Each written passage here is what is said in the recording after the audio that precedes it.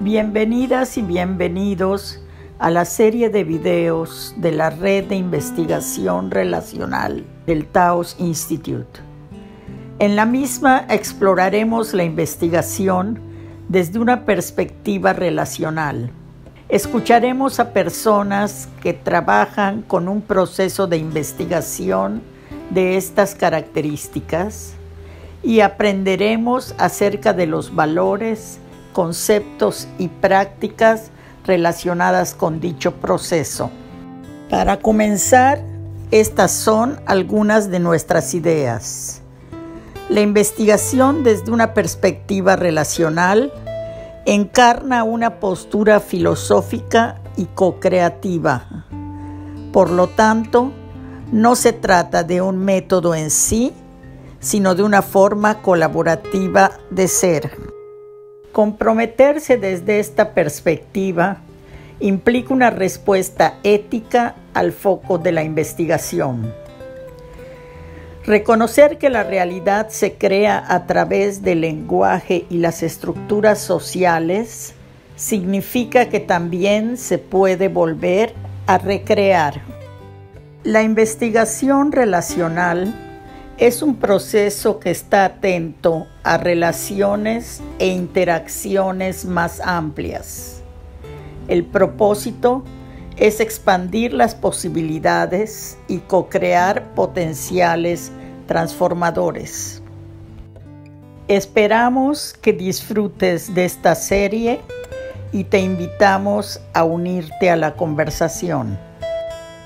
Nayeli María Cedillos Morales. Una conversación con Josep Seguí Dols. La experiencia de una joven investigadora mexicana en el área de la salud mental y la bioética. Doctora Nayeli María Cedillo Morales, psicoterapeuta Clínica María Cedillo, México. Esta conversación incluye aspectos relacionados con la bioética y la salud mental en los casos quizá más extremos, los diagnósticos de esquizofrenia. Además de aspectos metodológicos, Cedillo nos introduce también a los límites en la horizontalidad propia de la investigación relacional. Es posible dejar atrás todo el bagaje previo de la investigadora o el investigador cuando se inicia una conversación o entrevista. Aquí cabría reflexionar acerca de lo que, en sus propias palabras, sería la aspiración constante a ser un investigador horizontal. Soy Josep Seguí de, España, de la Red Internacional de Investigación Relacional del Taos Institute. Y, bueno, hoy tengo el gusto de que esté con nosotros eh, Nayeli María Cedillo Morales de México. Eh, como veis, es una buena amiga y, bueno, eso no se ve, pero, pero vamos, es una persona muy joven y que está desarrollando su, experiencia, o sea, su, su investigación doctoral. ¿verdad? Em, a pesar de su juventud, tiene ya 13 años de experiencia y dentro de su formación académica es eh, licenciada y maestra en psicología y eh, ahora mismo, como digo, está cursando su doctorado en humanidades en salud. Concretamente está ya en su fase final de investigación y lleva el título de Impacto del diagnóstico psiquiátrico en el yo, un análisis bioético desde la narrativa. Ya solo desde el título ya estoy deseando leer esa tesis. ¿no? Eh, tiene experiencia laboral como psicoterapeuta en el año privado durante nueve años en su clínica propia, también ha, sido y es profesora, estuvo durante cuatro años como docente, tutora y supervisora en un programa de maestría de psicoterapia sistémica e hipnosis ericksoniana y durante nueve años también trabajando en Espiral que es una, asociación civil de creatividad y encuentro eh, dirigiendo proyectos de salud comunitaria. Y bueno, más cosas, ha participado en, en, congresos, presentando, precisamente nos conocimos en el congreso del Taos Institute que se organizó con Cananquil, con el Instituto Cananquil en Mérida, eh, hace ya unos añitos. Y, ya entonces me ha parecido muy interesante el trabajo que presentaste, Nayeli, y ese es uno de los motivos ¿no? Eh, de, de, haberte invitado. Y bueno, también pues que eres una persona muy joven y necesitamos que vayáis también acompañándonos a los que somos un poquito más mayores, no mucho, pero bueno, un poquito, las cosas como son. Y eso es lo que te pido, un rato de compañía, de conversación, de que me cuentes pues cómo eh, has ido desarrollando tu tesis, cómo han sido tus relaciones, no sé muy bien qué metodología has usado, si cuantitativa, cualitativa, conversaciones, observaciones, y sobre todo conversar acerca de cómo han sido esas relaciones que sabes que son tan importantes para el construccionismo social, porque pensamos que la realidad es, relacional, emerge siempre en, ese, en esa interacción entre las personas como, cuéntame lo que tú quieras, no hay un guion. Claro. Ah, primero que nada, muchas gracias, Josep, por la invitación. Es un honor estar aquí. Eh, quisiera, hablando acerca de relaciones, contar un poco de dónde surge este trabajo, porque mm, empieza hace muchísimo tiempo una ocasión estuve haciendo mis prácticas profesionales de nivel licenciatura en un módulo de salud mental de la Secretaría de Salud de México, que es, un, el servicio público.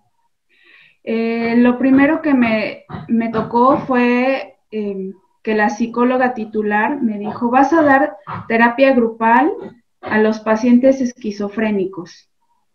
Y yo estaba en último año y, no sabía qué hacer, estaba muy asustada. Entre lo, lo, que me puse a hacer fue escuchar a las personas, primero que nada. Más o menos tenía un poco de noción de terapia centrada en soluciones y se me ocurría hablar con ellos acerca de los temas que les interesaran y, que entre ellos fueran dando algunas ideas de cómo, em, pues de cómo salir de ahí o de cómo lograr cambios, etcétera. Eh, pero muy inocente fue mi participación. Yo era muy joven y, muy, era mi primer, mi primer trabajo, ¿no? Realmente, la práctica. Entonces, eh, me quedó mucho una historia de un chico diagnosticado con esquizofrenia.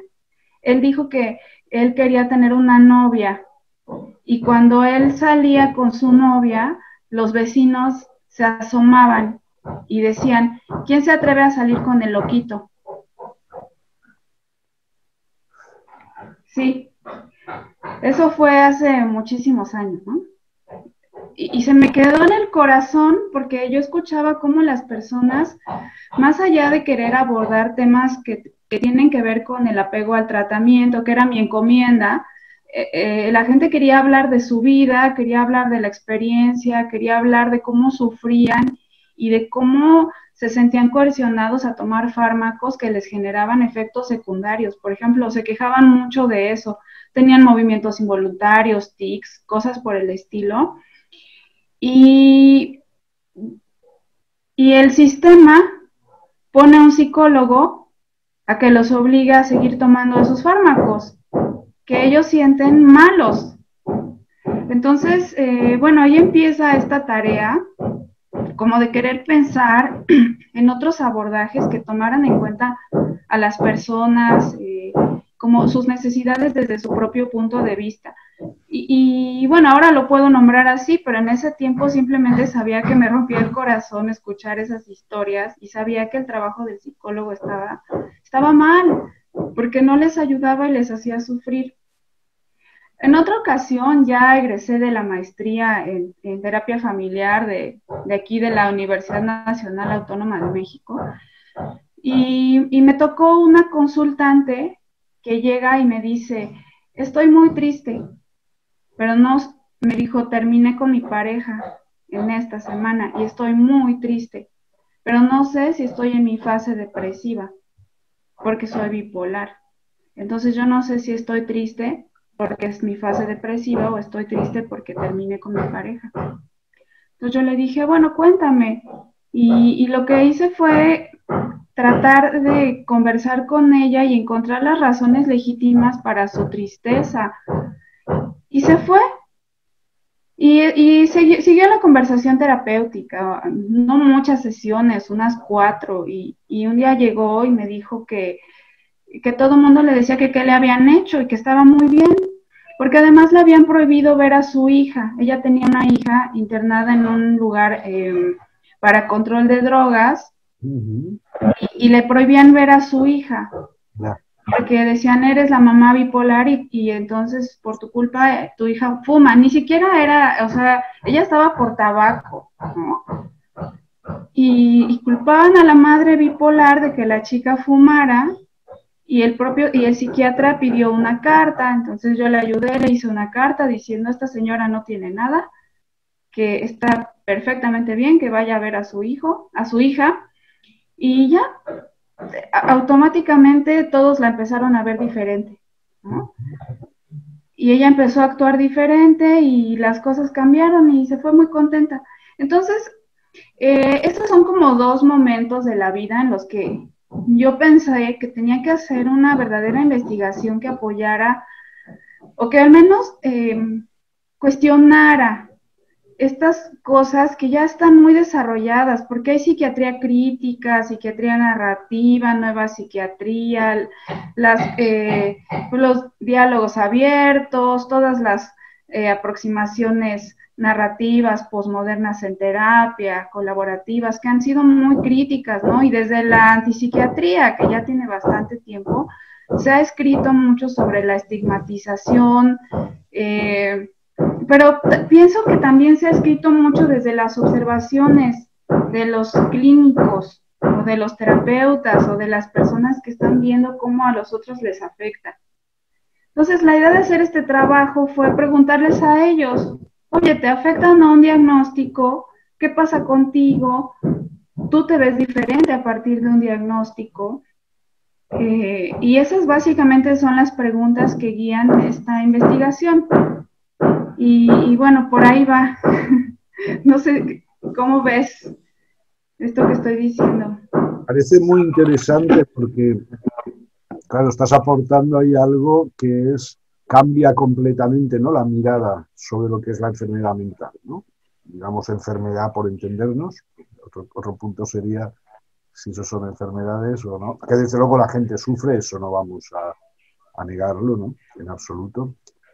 Pero bueno, no se trata aquí ahora de, hacer un análisis crítico, epistemológico, sobre cómo se construye el poder sobre, acerca de la enfermedad mental, sino precisamente de esto, de cómo ese cambio ¿no? en, tu acercamiento a valorar eh, ya no desde un punto de vista experto, psiquiátrico, psicológico, de la enfermedad, de la, en fin, del DSM, imagino, etcétera, sino de entrar, digamos, a lo que se consideraría tradicionalmente el campo de investigación, preguntando a las personas, ¿no? O sea, yo te imagino, por lo que he comentado, cómo entras preguntando a ellas cómo se sienten, eh, qué esperan de ti. Eh, ¿Es así, más o menos, como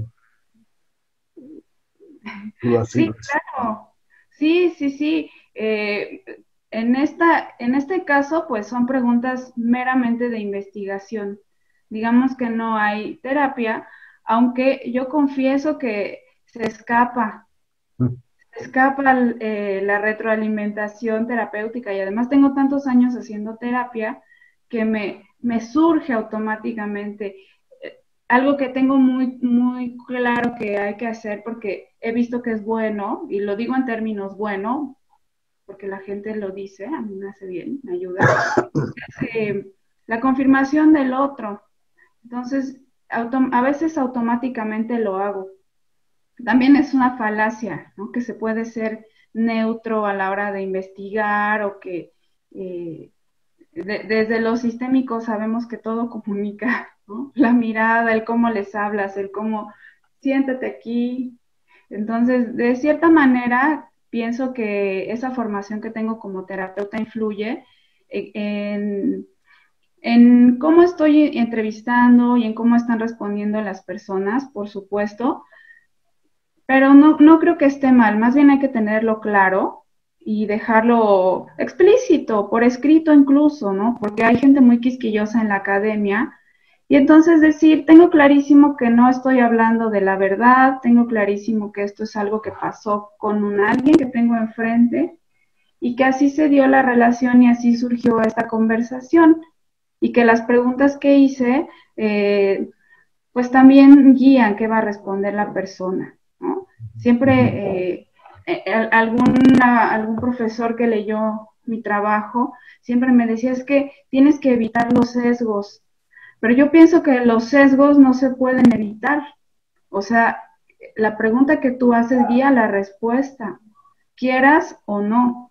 Entonces, sí, yo les pregunto, eh, desde cuándo tienen un diagnóstico y he tratado de ser muy cuidadosa del lenguaje, de no decirles desde cuándo tienes depresión, sino desde cuándo te diagnosticaron, cómo fue tu relación con el médico, te explicó o no, tú cómo te sientes, tú estás de acuerdo o no estás de acuerdo, le has contado a otras personas, ¿por qué les has contado? ¿Por qué no les has contado?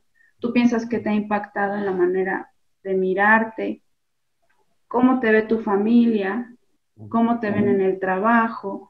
Y sí, hay personas que han dicho que, que sienten estigma y gente que no le cuenta a nadie y gente que tiene miedo. Y también hubo un caso de los que entrevisté donde era un, chico estudiante de medicina y le hacen un diagnóstico y luego mm, eh, se enteran todos en el espacio de trabajo, que era el hospital donde hacía el internado, y después ya no lo quieren dejar pasar porque lo consideran peligroso. O sea, hay, toda esta idea de cómo eh, las personas con un diagnóstico psiquiátrico son peligrosas, no tienen juicio o tienen juicio alterado, entonces no distinguen el bien del mal, no tienen control, no comprenden, etcétera.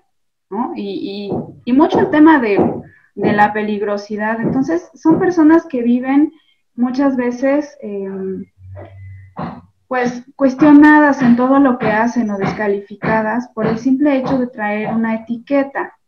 Aunque también encontré algunos casos donde las personas eh, lo ven como una enfermedad pasajera y eso les ayuda.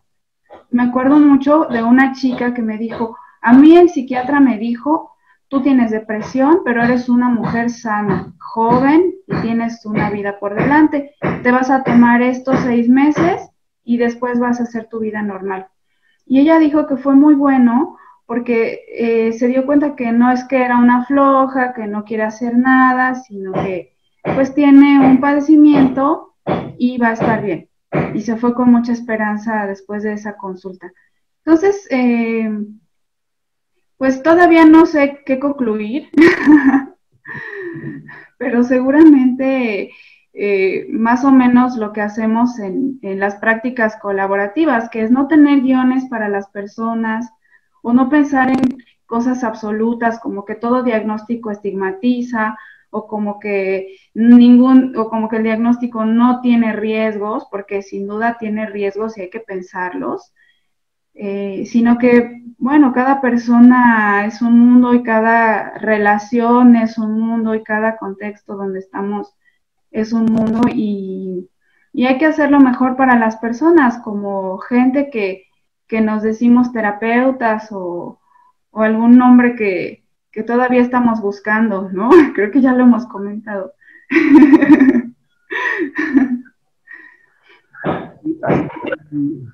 Muchas gracias, muy, súper interesante ¿no? todo lo que has comentado. Hay un par de cosas, ¿sabes? Acuerdo, yo nunca me tomo notas, confío mucho en mi memoria y luego, pero em, mm, tienen que ver con todo lo que has estado comentando. Em, ¿Cómo hay, hay una cuestión que es central, ¿no? Muchas veces te has comentado que, claro, que no puedes evitar el sesgo, digamos, psicoterapéutico, ¿no? Y esto es muy, o sea, me parece tremendamente interesante el que lo reconozcas, ¿no? Me parece que ya es un primer paso. Incluso en tu propio trabajo de tesis, pues decir, me pasa esto. Em, porque efectivamente estoy totalmente de acuerdo contigo en que no se es neutral.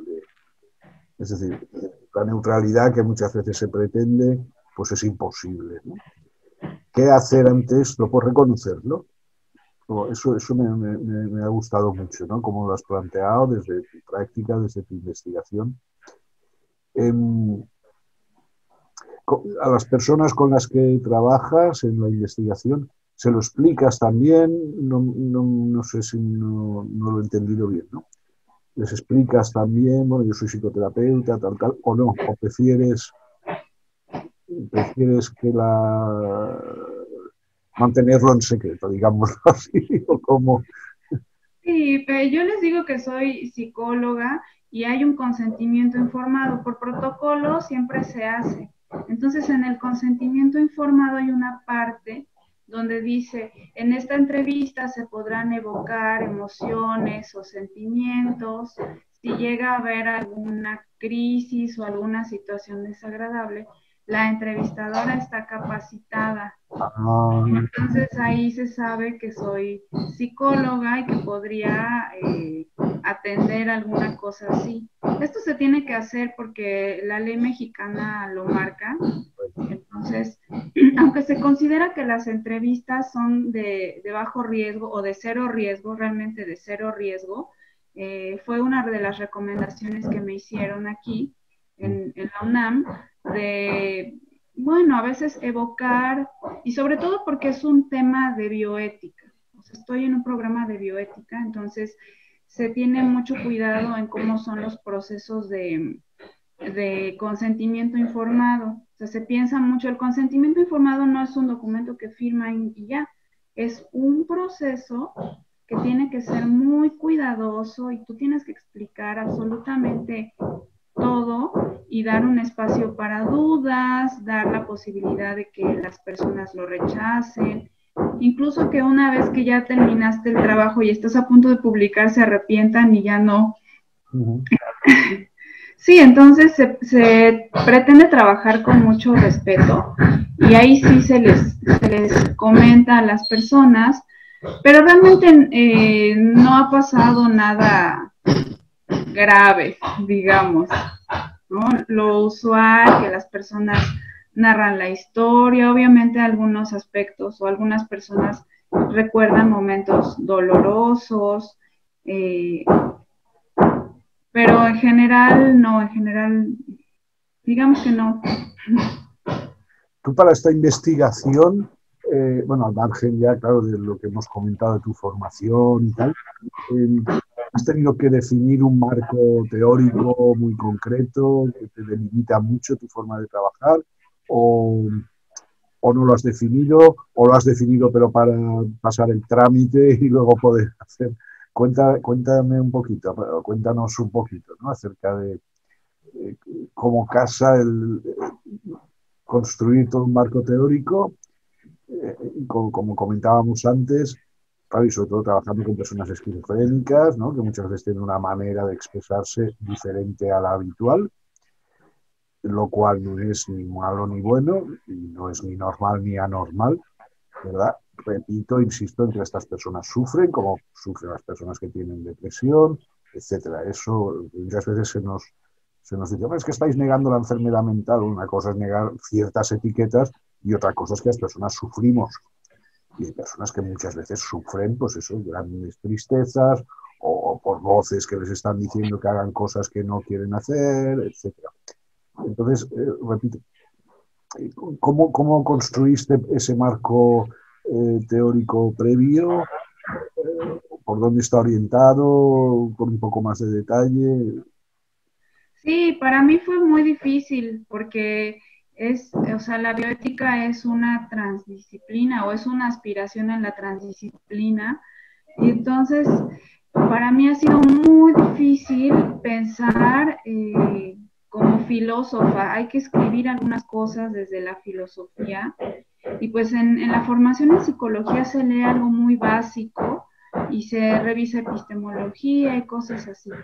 Pero realmente pensar la ética es un mundo inmenso y la bioética más.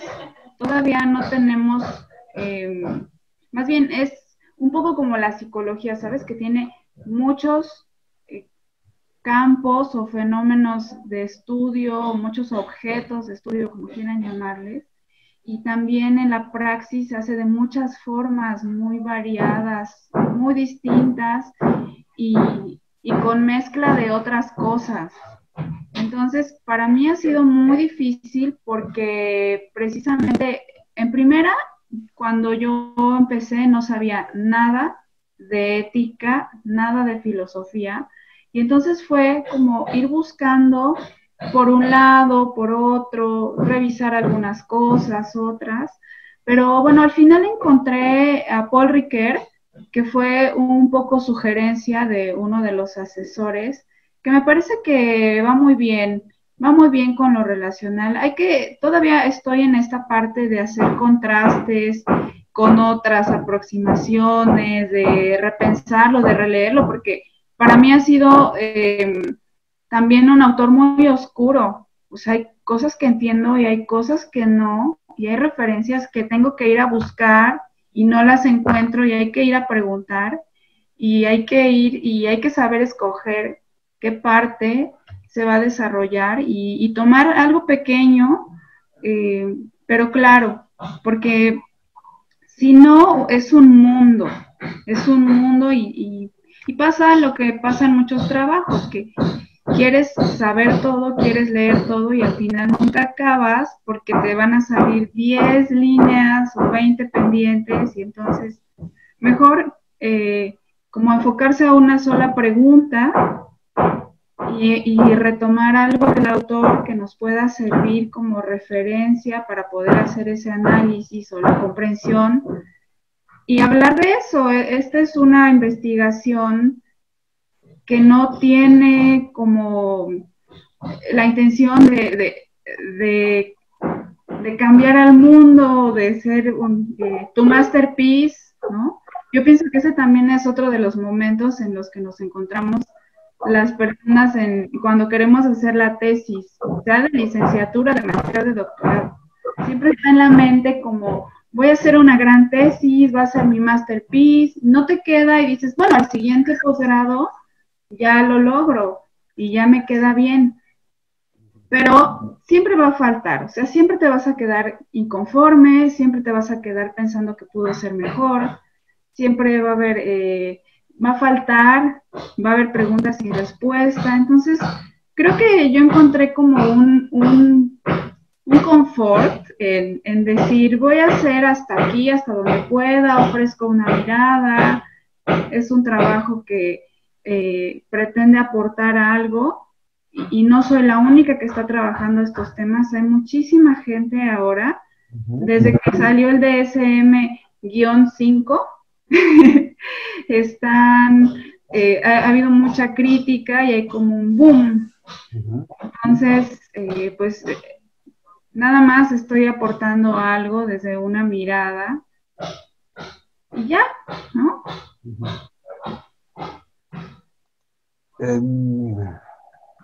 Qué bien. Digo, también que, a ver, no está mal también que queden preguntas sin respuestas, sin respuesta. Y eso me lleva a hacer una reflexión. Claro, tú misma has dicho de dos o tres maneras diferentes una cosa que, con la que estoy totalmente de acuerdo, es que cada caso es un mundo diferente. Claro, esto la ciencia positivista no está de acuerdo. Pero, eh, ¿cómo? está claro que la psicología no es una ciencia positivista, y esto lo, creo que lo podemos decir bien claro y no podemos aplicar la misma metodología de las ciencias positivistas, de las ciencias físicas en general, que también fallan a veces, pero bueno, vamos a dejarlo ahí. No podemos aplicarlo igual que a una ciencia humana y social como es la psicología. Claro, entonces, por ejemplo, algo característico de la ciencia positivista sería la capacidad, la posibilidad de generalización, sobre todo a base de una replicación previa. Pero claro, no, me puedo imaginar algún investigador que leyera tu tesis de investigación y que diga, pues yo quiero replicar esta con las mismas personas, con la misma conversación, porque claro, sería otra cosa, ya no serías tú, seguramente no serían las mismas personas, aunque fueran según su carnet de identidad, las mismas, pero habría pasado un tiempo donde a lo mejor ya han cambiado su forma de ver la vida, su discurso, etcétera. Entonces, claro, ¿qué hacemos con, este, con estas investigaciones que no se pueden replicar y que no se pueden, y por supuesto, experimentar tampoco, porque hoy muchos experimentos que se han hecho en psicología hace años, hace ya décadas, hoy estarían prohibidos éticamente, no se podrían realizar. Entonces, ¿cómo, ¿Cómo hacemos para generalizar lo que encontramos o lo que construimos con los otros? O quizá es que no hace falta generalizar, porque ha habido una parte que me ha gustado mucho al final, el, última, el último párrafo, que es cuando has dicho, bueno, decidí centrarme en algo muy pequeñito, muy concreto, etc. ¿Cómo ves tú si alguien te atacara, ¿no? Una vez, porque doctora vas a ser dentro de poco, eso lo tengo claro. Pero alguien cuando publiques tu tesis eh, te, atacara, ¿no? Desde estos olimpos, ¿no? De los, de los de la gente que, que, sabe mucho, de los sabios y tal, ¿no? Y te dijera, bueno, es que como esto no se puede replicar, no se puede eh, generalizar, y como tal no es ciencia. ¿Estás preparada para recibir algún tipo de ataque de estas características o cómo improvisarías o cómo... Sí, genuinamente yo estoy más o menos dándome cuenta de que se debe hablar acerca de posibles riesgos del el diagnóstico como una práctica. Entonces, así como se tiene eh, presente los riesgos de hacer una entrevista o los riesgos de hacer cualquier práctica, eh, cualquier práctica va a tener riesgos, hay que pensar cuáles podrían ser y conversar con las personas acerca de eso. O sea, para mí esa es la solución. Oye, podría ser esto, podría pasar, miren, algunas personas ocurre tal. Como tener ese cuidado eh, no sé, ver qué pasa, tener una comunicación más abierta, más genuina con las personas que nos consultan. Eh, o sea, un poco, por ejemplo, yo lo empecé a hacer eh, antes de hacer este trabajo, cuando la gente me decía, oye, me diagnosticaron tal o cual cosa, entonces yo tengo el DSM en el consultorio y lo abro y se los empiezo a leer y trato como de conversar con ellos acerca de qué significa, de dónde viene, quién inventa estos nombres, ¿no? ¿Qué significan esas palabras en el gremio, por qué se hacen, etcétera? Y surgen cosas bien interesantes, porque muchas, muchas veces la gente dice, no, no lo tengo. O hay quien dice, sí, sí, a ver, ¿y cuál es, qué dice el libro? ¿Cuál es la evolución de esa enfermedad? ¿No? Y entonces conversamos, pero desde una mirada muy honesta. Y creo que hace mucha falta eh, en, general en, la medicina, en las prácticas sanitarias. Y yo lo estoy abordando desde las prácticas sanitarias porque estoy viendo pacientes con, que están en, un eh, tratamiento psiquiátrico. ¿no? Pero también lo vi en otro, en otro momento, en alguna época estuve eh, trabajando en un hospital general entonces hay gente que le hacen una cirugía porque llega inconsciente y nunca se enteran. O sea, me llegó a pasar que yo, yo llegaba y yo sacaba el expediente y le decía, a ver, aquí dice que le hicieron una cirugía. Y la persona, no, acabo de llegar. Entonces, les hacen cosas sin su consentimiento. Ya, ya, ya, ya.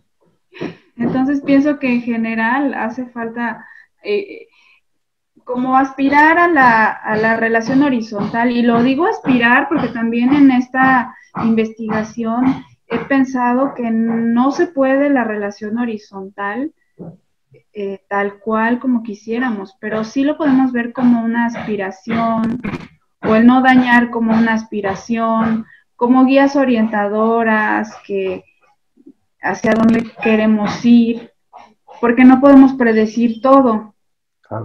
Entonces hay que tener más o menos, pues claro, eh, el diagnóstico puede tener riesgos, cuáles son, tratar de cuidar que no, que esas cuestiones que pueden ser dañinas o iatrogenias no, no ocurran. Tener cuidado, poner el ojo en eso. Y pues vamos a ir terminando de momento esta conversación porque es muy interesante y me quedo un poco con esta parte final, ¿no? Como resumen, me, ha encantado esta, me, ha encantado todo, ¿no? Pero esta idea de eh, tender, ¿no?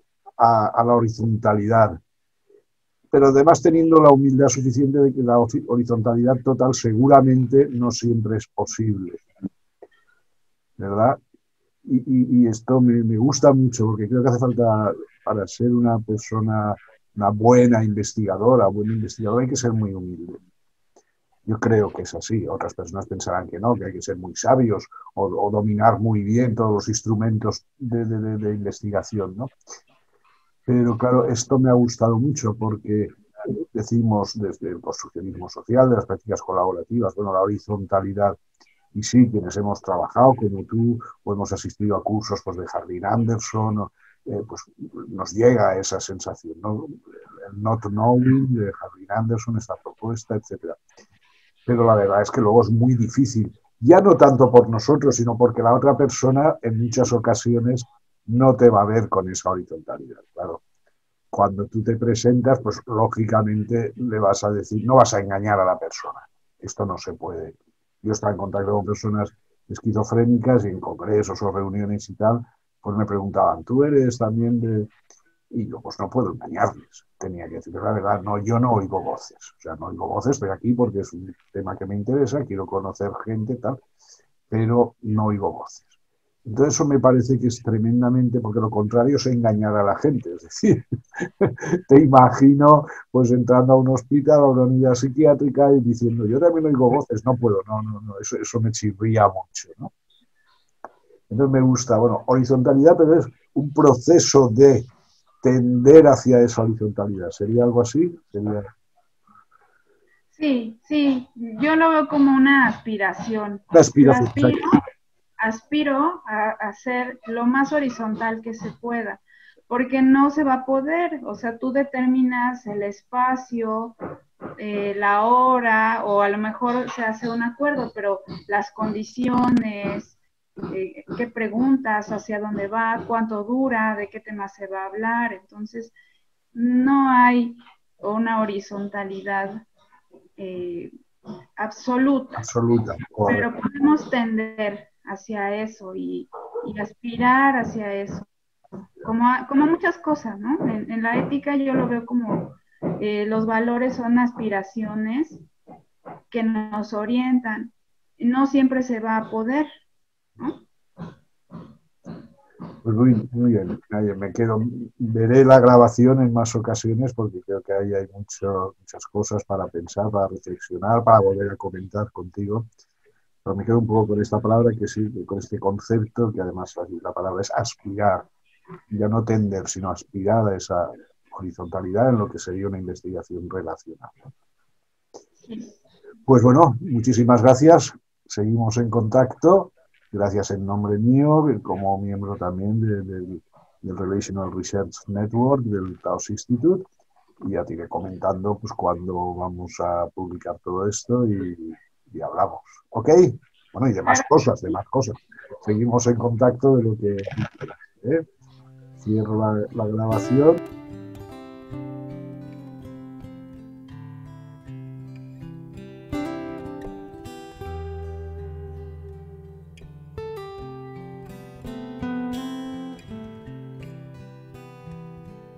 Por favor, únete a la conversación.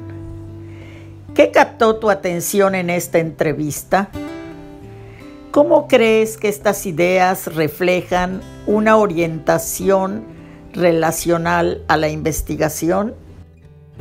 Deja un comentario en YouTube o únete a nuestra comunidad en www.taosinstitute.net diagonal relational guion medio research guion medio network. Agradecemos al equipo de liderazgo de la red de investigación relacional por la visión y la dedicación para hacer que esta serie de videos cobre vida.